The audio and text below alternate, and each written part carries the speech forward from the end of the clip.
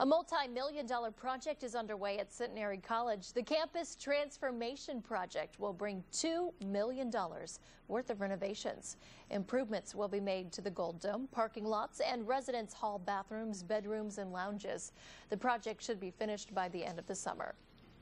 Will be the opportunity to save on energy. That's a big component. Uh, some of the money contributed is the backing of that is to show that we show that we can have some energy savings. Well, by the fall of 2012, all residence halls will be card accessible. Now that will be paid for with a half a million dollar grant from the Department of Justice.